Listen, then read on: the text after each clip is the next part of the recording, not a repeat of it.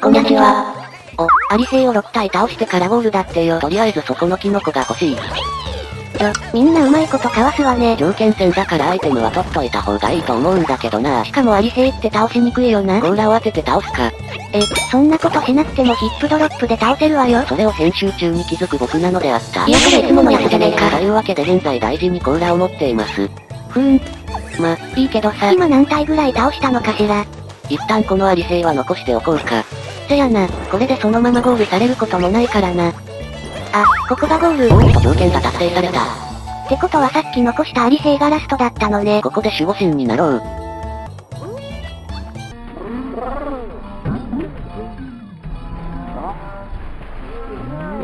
てちょっと、突破されてるぜ。電車がキノコ釣り状態だったのに。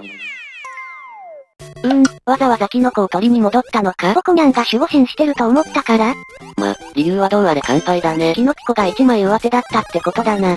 それよりこのコースは？あ、どうやら一つ一つギミックを攻略していくっぽい。それぞれの土管に入るんじゃなくて？土管にアイテムがあるんじゃないかな。あ、巨大キノコ。なるほどこれで右のブロックを壊すのね。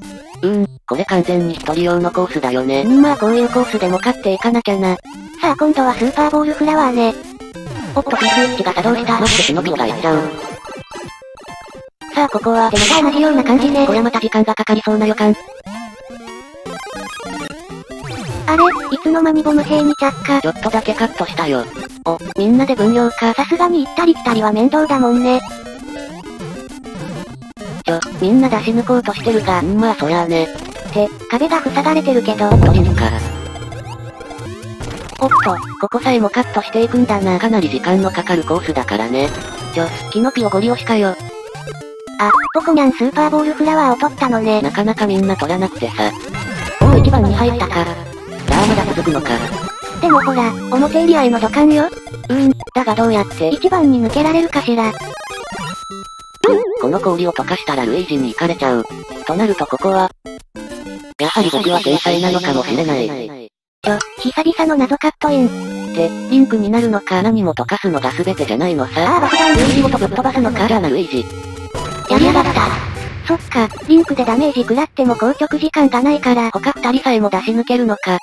いやー、ついつい僕の天才部分が発動してしまった。いやうぜえよ。ちょっと嬉しかったからってすぐ調子に乗るんだから。でもナイス発想だったでしょここで反動が来なければいいけどな。頑張るようでやばいキノコが物騒なものを。離れておいてよかったわね。その代わりだいぶで遅れることになったが、死ぬよりかは全然マシだよ。さあ置いてかれないように一気に詰めよう。ってちょっとなんだこれ。え、P スイッチがどこかにおおもしかしてこの土管かいや、何も出てこないし入れない。こっちのハテナブロックかな？フラワーじゃないうーん、わかんないからゴリ押しするか。ねえ、そこにあるぞ。えー、なんでこんな意味のわからない場所に。ちょ、お前またマイナスボタン押しただろ。うん手が当たっちゃって。しまったな。P スイッチを押さなければ後続が苦労したのに。またそういうこと考えやがって。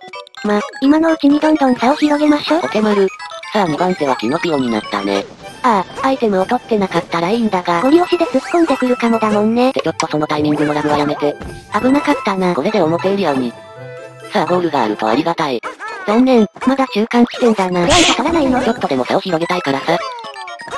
今の走り幅跳びは握手だろ。死んでた可能性もあるわよ。危ない危ない。さすがに慎重に立ち回らないとね。ておい、すぐそこまでキノピオが来てる。やばいぞいつの間に。く、このまま逃げ切れるかどうか。おおやったすぐゴールだった。あ。ご、ごめん、ヒップドロップが出なかった。下手くそ。いやー、ものすごい勢いで迫ってきてたのね。全然気づかなかったんだぜ。ちゃんとアイコンを見てきてるって教えてくれよ。自分で判断しろし。うーん、戦闘には出れずか。さあ裏エリアはどうですか？折り捨てかな？大丈夫？ポコニャンの苦手な竜巻もあるけど。大丈夫じゃなくても行くしかない。お、抜かし抜かされからのなんとか戦闘だな。やられないようにしないと。ここは下からくぐる。お、ナイス判断だな。マリオもしっかりついてきてるわね。どうにかして引き剥がせないかな？ここは滑る。よしよし、ここまでは順調。お、中間か。早く逃げなきゃ。おっと、カリドはトロフィーが持ってるのか。く、危なかった。問題は奪われないか。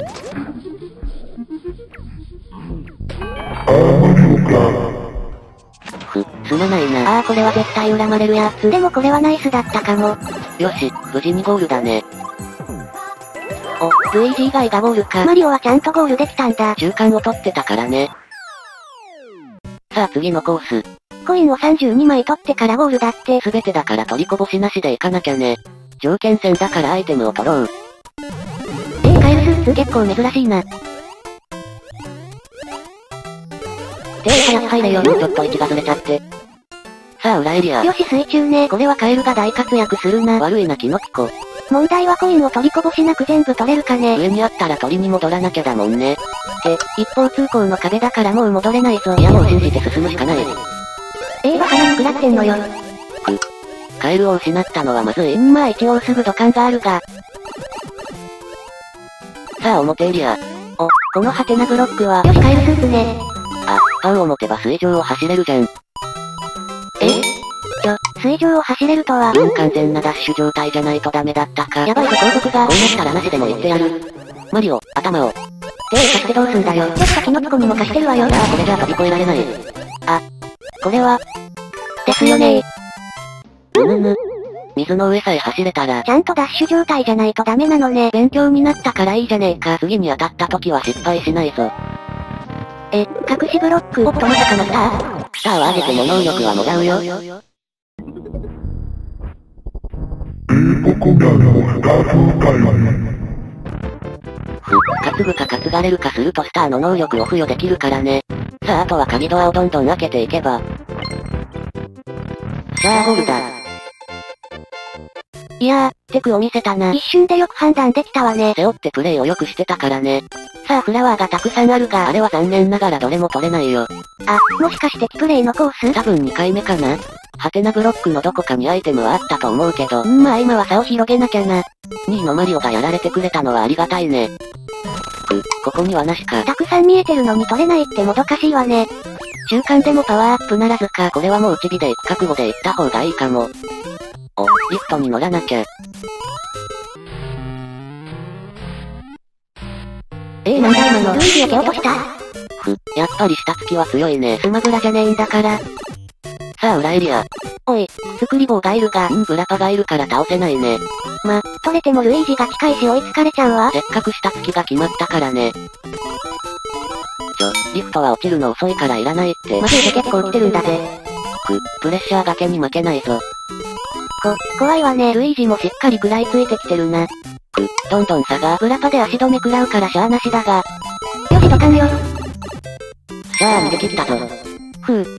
めちゃめちゃ危なかったな。あの時リフトに乗られたらわかんなかったわねち。ょっと戦闘不利だったね。いやールイージは本当に強い人だった。接戦だったから見応えがあったわ。